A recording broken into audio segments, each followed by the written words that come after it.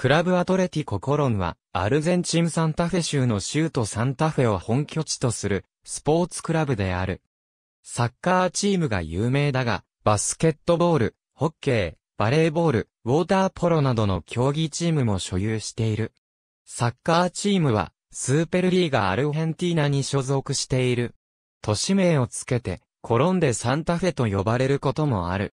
1946年にプリメーラディビシオンに昇格すると、1995から96シーズンまでトップリーグの座を維持した。これまでに3度、プリメーラディビシオンで3位以上の成績を収めた。クラウスーラ1997では、クラブ史上最高位の2位となり、クラウスーラ2000とアペルトゥーラ2009では3位となっている。1905年、学生グループによって設立された。彼らの一人がアメリカ大陸発見の勉強をしており、クリストファー・コロンブスの姓をスペイン語に訳したコロンをクラブ名称に採用した。しかし、1920年までのクラブの存在を証明する映像記録は残っていない。サンタフェの地域リーグでは14度優勝し、1947年にアルゼンチンサッカー協会に加盟した。何シーズンかはカブリーグで過ごしたが、1965年シーズンにプリメーラ B で優勝し、プリメーラディビシオン昇格を決めると、トップリーグ初参戦となった1966年にシーズンを15位で終えた。1967年には、リーグ方式の改革が行われ、1シーズンをメトロポリターノとナシオナルの2つに分割する方式が採用された。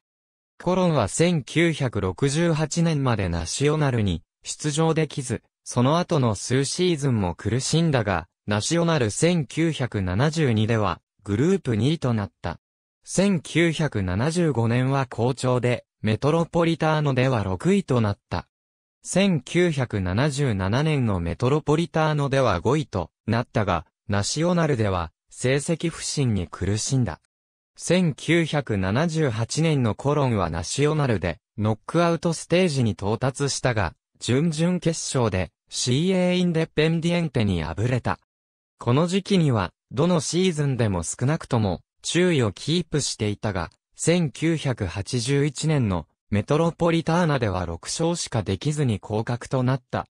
プリメーラ B からの昇格には14年かかり、1995年にようやくプリメーラディビシオン昇格を果たした。何度も昇格に近づいたが、1988から89シーズンは昇格プレーオフでライバルの CA ユニオンに2試合合計0から3で敗れ、1992から93シーズンは、シーズン優勝決定プレーオフで CA、バンフィールドに敗れて2次プレーオフ出場を逃していた。1997年、コパコンメボルに参加して、初の南米カップ戦出場を果たした。CF ウニベルシダでチレが初対戦の相手であり、コロンは勝ち進んで準々決勝に進出したが、CA ラヌースとの同国対決に敗れた。クラウスーラ1997では、過去最高位の2位でシーズンを終えた。アペルトゥーラ1996と、クラウスーラ1997は CA、リーベルプレートが連覇したため、両シーズンの2位同士で、プレーオフが行われた。1997年12月に行われたコパリベルタドーレスの国内予選では、CA インデペンディエンテに0から1で敗れた。1997から98シーズンは失望の残るシーズンとなったが、アペルトゥーラ1998では5位となり、クラウスーラ2000では3位となった。1998年には、コパリベルタドーレスに初出場し、リーベルが初対戦の相手となった。コロンは決勝トーナメントに進出し、オリンピアースンシオンを PK 戦の末に破ったが、準々決勝で再びリーベルと顔を合わせ、2試合合計2から5で敗れた。2001から02シーズン終了後の3年間平均勝ち点では、過去最高の6位となった。2002から03シーズンもその順位を維持し、クラブ史上初めてコパスダメリカーナの出場権を獲得した。2003年の同大会では CA、ベレス・サルスフィールドを破ったが、ボカジュニアーズに敗れた。その後の数シーズンはせいぜい注意止まりであり、2007から08シーズン終了後の3年間平均価値点では、降格プレーオフ出場となる17位を、かろうじて回避する16位まで落ちた。クラブのニックネームはサバレロ。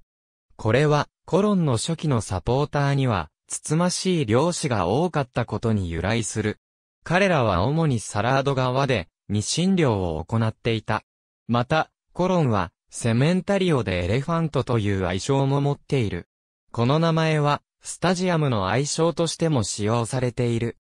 1964年に、ペレを擁するサントス FC を撃破するなど、ビッグクラブから金星を挙げることが多いのが、愛称の由来である。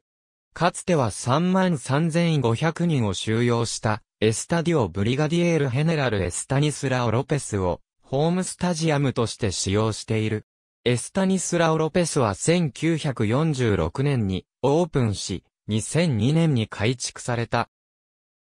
3度目の改築工事を行って2011年に再オープンし、4万人以上を収容する国際的なスタジアムに生まれ変わった。CA コロンにとって、エスタニスラオ・ロペスは3カ所目のスタジアムであり、クラブ創設当初は、サンタフェの港湾部にあるグラウンドを使用していた。1925年、港の拡張工事のためにグラウンドを手放し、アルコスデスルは、ノルテにあるグラウンドを1938年まで使用した。コロンの最大のライバルは、同じサンタフェを本拠地とする CA ユニオンである。